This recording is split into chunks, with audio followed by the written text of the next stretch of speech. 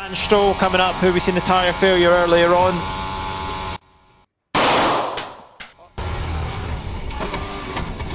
There's going to be some seriously big questions from the teams. And they'll, they'll try and piece back the tyre to establish the absolute cause, and we can listen to what happened to Max. Now, the thing that could have really affected what's happened with Verstappen as well, which him on the front row, Perez gets away well. Hamilton will wheel spin. Sebastian Vettel is coming at them as well. Perez just off Hamilton, oh! who locks up and goes straight on. Perez leads from Sebastian.